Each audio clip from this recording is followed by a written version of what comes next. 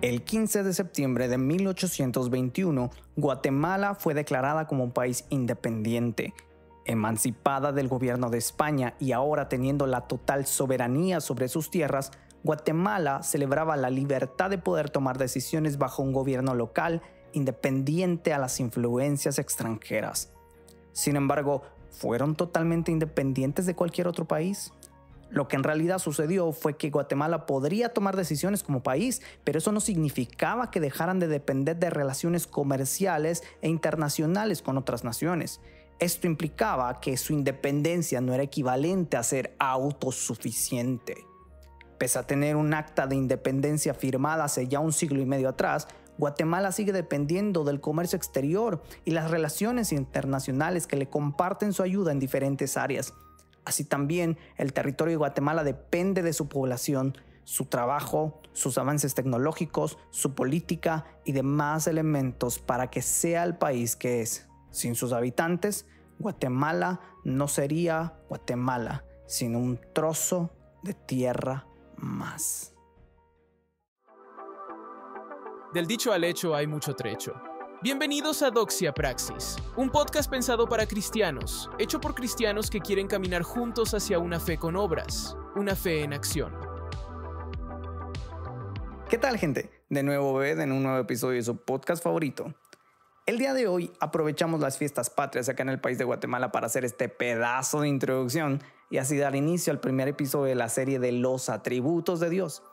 También quiero tomar la oportunidad para invitarte, si buscas algún material para acompañar este estudio, en que puedas pasarte por nuestro canal de YouTube y escuchar el audiolibro de los atributos de Dios de A.W. Pink que narramos hace ya unos cuantos años atrás.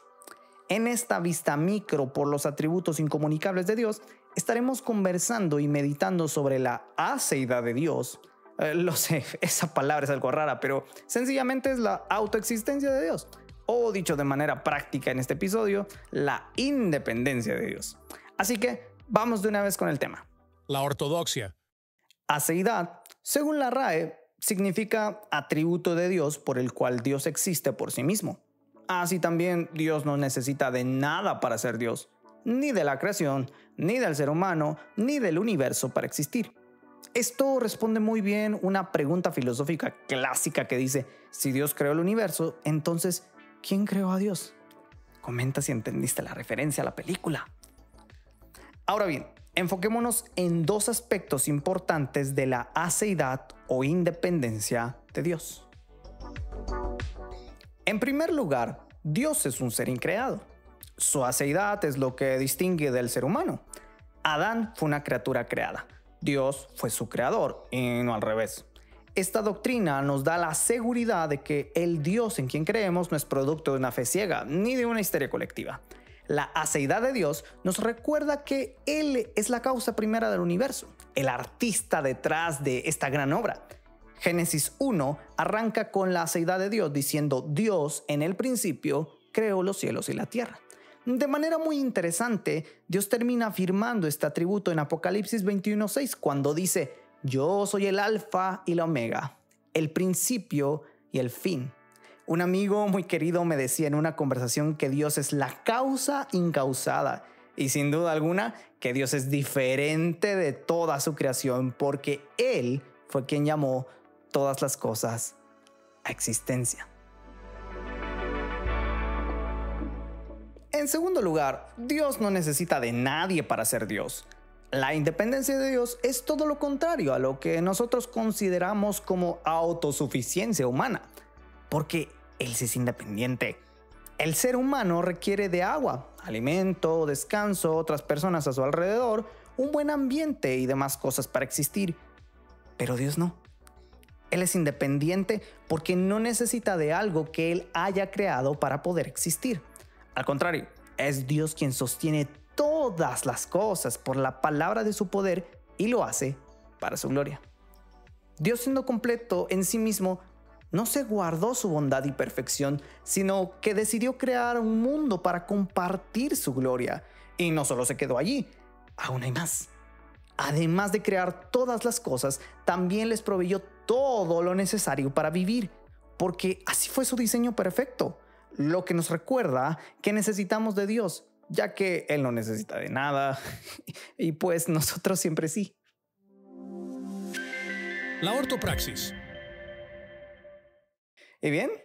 ya sé, esto suena muy bueno para ser verdad, pero ahora viene la pregunta. ¿Esto cómo me servirá para la vida diaria? Y me alegra que me lo preguntes porque acá te va. Cuando tengamos claro qué es la seidad o independencia de Dios, como primer paso práctico, podremos conocerlo mucho más. Y eso, créeme mi amigo, es algo que no se compara con ninguna otra cosa. Entender la seidad de Dios nos permitirá conocerlo más profundamente, pues ya no lo veremos como un creador distante, sino como el Dios que, a pesar de ser totalmente independiente, decidió revelarse y tener una relación con nosotros, seres tan frágiles, finitos y dependientes. Entender su aceidad también te liberará de muchas creencias equivocadas acerca de Dios.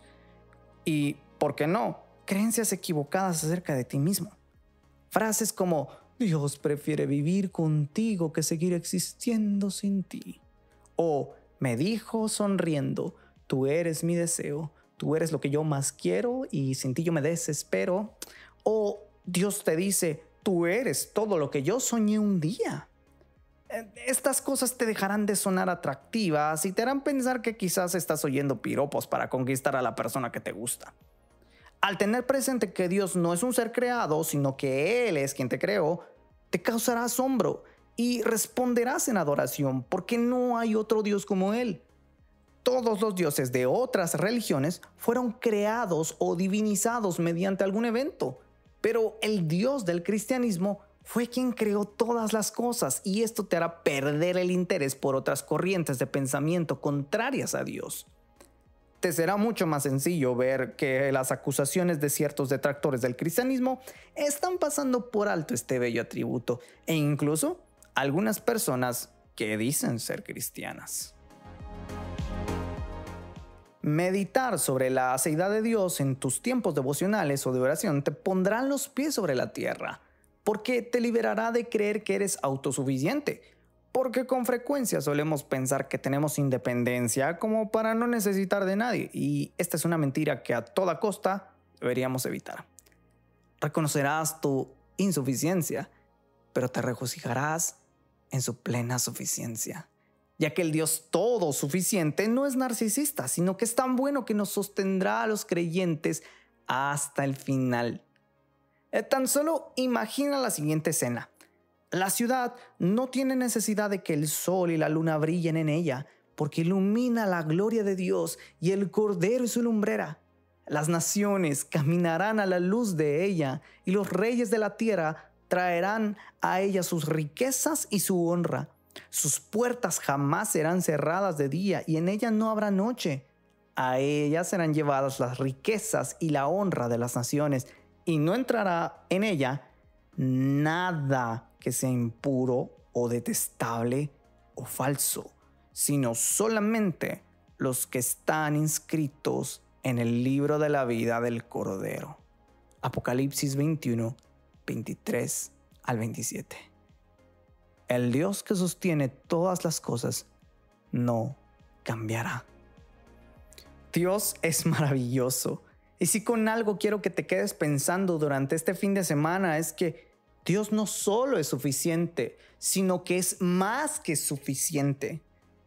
Todo lo que nuestra alma necesita no está en este mundo material, sino en la aceidad de Dios, quien nos sustenta y nos da el agua que el alma gime diariamente, su presencia. Si esto te pareció sorprendente, espera que escuches los demás capítulos. Este es nuestro Dios. Y bueno, sin más que agregar, acá terminamos con nuestra travesía en Doxia Praxis. Deja tus comentarios y comparte este estudio con tus amigos para que juntos conozcamos y disfrutemos de Dios. Gracias por escuchar este capítulo de Doxia Praxis, el podcast donde la doctrina y la vida diaria no están separados. Te invitamos a seguirnos en nuestras redes sociales para tener acceso a más contenido como este, YouTube, TikTok y Facebook como Proyecto GC e Instagram como Guate Proyecto GC. Nos vemos en un próximo episodio. Gracia y paz a todos.